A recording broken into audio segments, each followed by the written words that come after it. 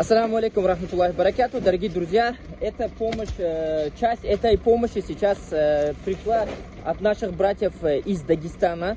И мы ее сразу же на наши фонды передали, которые посредством ответственных лиц по списку будут раздавать нуждающим, нуждающим семьям, сиротам, вдовам здесь от пострадавшим от э, землетрясения. В общем, джазак мухарам, пусть Аллах примет от вас и от нас. Э, вот ваша помощь, это первые необходимые вещи, это продукты, здесь э, вода есть, здесь вот уголь есть. Э, уголь, вода и э, это первые необходимые вещи. Сейчас э, на данный момент около 50 тысяч людей нуждаются, как я уже говорил, я не перестану повторять.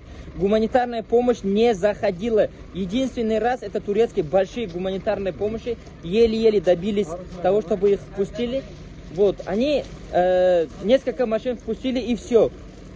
Сейчас местными усилиями, усилиями э, волонтеров, которые здесь работают, э, полностью Э, стараются хоть как-то помочь, но это не хватает. Этого мало очень. Этого очень мало. Это может быть даже э, одна доля из тысячи, вот то, что получается раздать. Пусть примет от нас и от вас.